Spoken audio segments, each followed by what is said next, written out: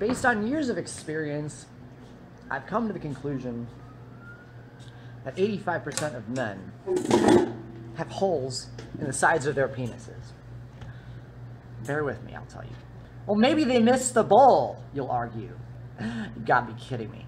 These same guys will pick up a firearm, aim it at a target 50 feet away, fire the damn thing, and hit square between the freaking eyes.